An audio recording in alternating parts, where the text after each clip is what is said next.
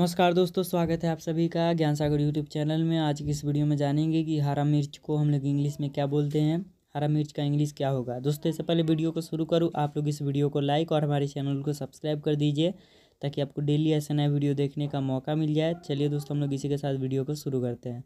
दोस्तों, हरा मिर्च को इंग्लिश में हम लोग ग्रीन चिल्ली बोलते हैं, जिसका meaning G R double E N space C H I double L I होता है। दोस्तों, आज की इस वीडियो में इतना ही। आशा करता हूँ वीडियो पसंद आया होगा। पसंद आया तो वीडियो को लाइक और हमारे चैनल को सब्सक्राइब कर दीजिए। दोस्तों, तब तक के लिए मिलते हैं अगले नए वीडियो में किसी खास नए वर्ड के साथ। धन्यवाद।